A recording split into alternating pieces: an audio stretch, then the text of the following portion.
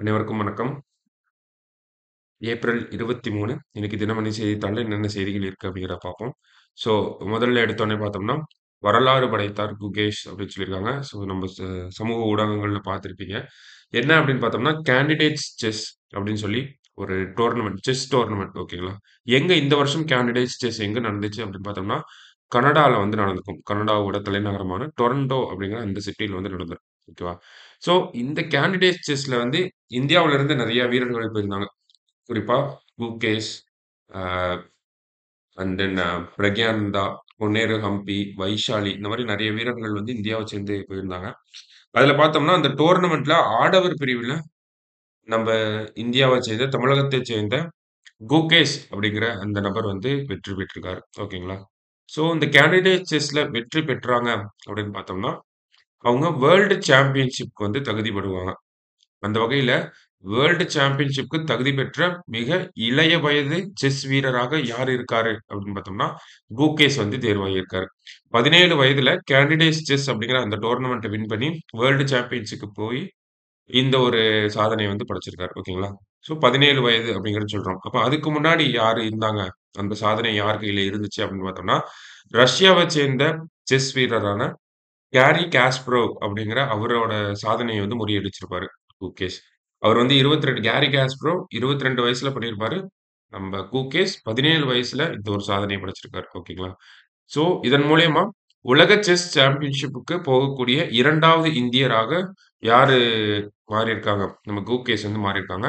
அப்ப இவருக்கு முன்னாடி யார் பண்ணியிருப்பாங்க அப்படின்னு பார்த்தோம்னா, நமக்கு பரிச்சயமான விஸ்வநாதன் ஆனந்த் அவர்கள் இந்தியாவிலிருந்து முதல் நபராகவும், குகேஷ் இந்தியாவிலிருந்து 2வது நபராகவும் இந்த வேர்ல்டு சாம்பியன்ஷிப்பில் கலந்துக்க போகிறாங்க ஓகேங்களா? ஸோ ஆல்ரெடி விஸ்வநாதன் ஆனந்த் போட்டி போட்டு ஜெயிச்சிருவார் இப்போ குகேஷ் வந்து தேர்வாகியிருக்காரு. ஸோ அந்த ஒரு செய்தி தான் நம்ம இங்கே பார்க்குறோம். அடுத்தது பார்த்தோம் அப்படின்னா, சூரத் பாஜக வேட்பாளர் போட்டியின்றி தேர்வு அப்படிங்கிற சொல்லியிருக்காங்க. ஸோ மக்களவை தேர்தலில் சூரத் மக்களவை தொகுதியில் பார்த்தோம்னா, ஒரு வேட்பாளர் போட்டியின்றி போட்டியின்றி அன்ன போஸ்ட் அப்படின்னு சொல்லுவோம் இல்லையா? கரெக்டாக சொல்லணும் அப்படின்னா, அன்போஸ்ட் அப்படின்னு சொல்லுவாங்க. ஓகேவா? யாரும் அப்போஸ் பண்றதுக்கு யாரும் இல்ல. அதான் அன்அப்போஸ்ட் அப்படின்னு சொல்லுவாங்க. ஸோ அப்படி ஒரு வேட்பாளர் வந்து தேர்வாகி இருக்காங்க. ஸோ அந்த வகையில போட்டியின்றி தேர்வான 35வது வேட்பாளராக யார் மாறியிருக்காங்க அப்படின்னு பார்த்தோம்னா, முகேஷ் குமார் தலால் அப்படிங்கிறவர் மாறியிருக்காரு.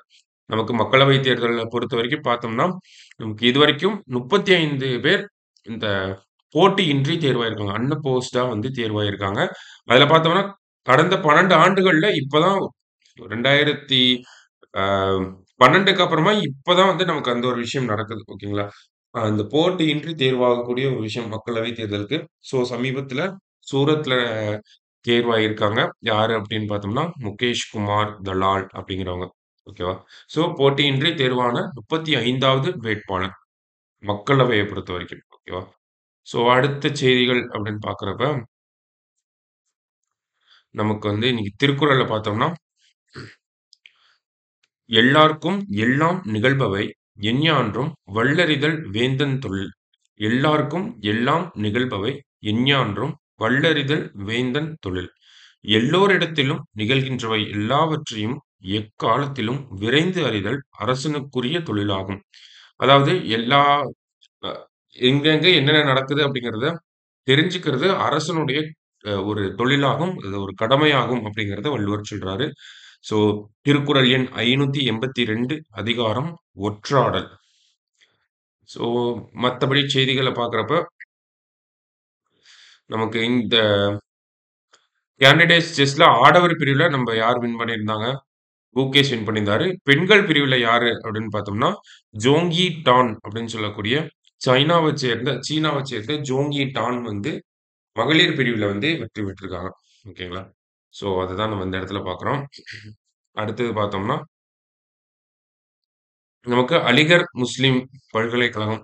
ஓகேங்களா? அலிகர் முஸ்லிம் யூனிவர்சிட்டி நம்ம பார்த்திருப்போம். ஓகேங்களா?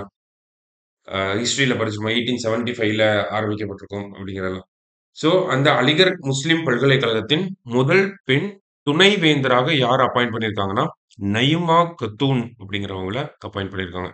ஸோ அலிகர் முஸ்லிம் யூனிவர்சிட்டியோட ஃபர்ஸ்ட் உமன் வைஸ் சான்சலர் இங்கிலீஷில் சொல்லணும்னா, ஓகேங்களா? ஃபர்ஸ்ட் விமன் வைஸ் சான்சலர் யார் அப்படின்னு பார்த்தோம்னா, நயீமா கத்தூன் அப்படிங்கிறவங்க. Aligarh Muslim University. ஓகேவா? ஸோ ஒரு ஒன் லைனர் ஸோ கடைசியாக பார்த்தோம்னா, நமக்கு இந்த பத்ம விருதுகள் குடியரசு தினத்தப்போ அறிவிக்கப்பட்டிருந்தாலும், இப்போதான் அந்த விருதுகள் வழங்கப்படும் நிகழ்ச்சி அப்படிங்கிறது நடந்திருக்கு. அந்த வகையில் நம்ம ஒரு எத்தனை பேருக்கு விருதுகள் தமிழகத்திலிருந்தே எத்தனை பேருக்கு அப்படிங்கிறதெல்லாம் சும்மா மேலோட்டமா பார்ப்போம். ஓகேங்களா? ஸோ பத்ம பொறுத்த வரைக்கும் பார்த்தோம்னா, ஐந்து பேருக்கு வந்து அறிவிப்பு செஞ்சிருப்பாங்க. சாரி பத்ம விபூஷன் வந்து ஐந்து பேருக்கு, பத்ம பூஷன் 17 பேருக்கு, பத்மஸ்ரீ 110 பேருக்கு என 132 பத்ம விருதுகள் அறிவிக்கப்பட்டிருக்கும். இதை தாண்டி நமக்கு பாரத ரத்னாவும் தனியா நம்ம ஜனவரி மாசம் தான் அறிவிப்பு செஞ்சிருக்காங்க. அதுல ஐந்து பேருக்கு பாரத ரத்னா விருது அப்படிங்கிறத சொல்லியிருந்தாங்க.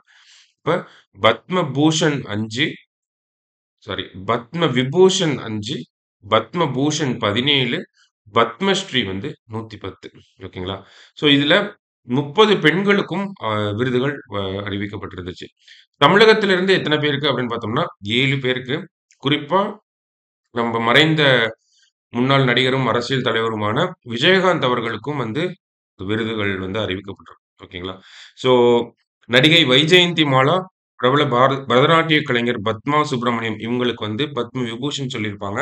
நம்ம தேமுதிக கட்சியினுடைய தலைவராகவும், நடிகராகவும், அரசியல் கட்சி தலைவராகவும் இருந்த விஜயகாந்த் அவர்களுக்கு வந்து பத்ம பூஷன் விருது வந்து அறிவிக்கப்பட்டிருக்கும். அது மட்டும் இல்லாமல் இன்னொரு நாலு பேருக்கு வந்து பத்மஸ்ரீ அவார்டு வந்து சொல்லியிருப்பாங்க. ஸோ தமிழகத்தை பொறுத்த வரைக்கும் ஏழு விருதுகள், பத்ம விருதுகள், ரெண்டு பத்ம விபூஷன், ஒரு பத்ம பூஷன், 4 பத்மஸ்ரீ விருது ஓகேங்களா?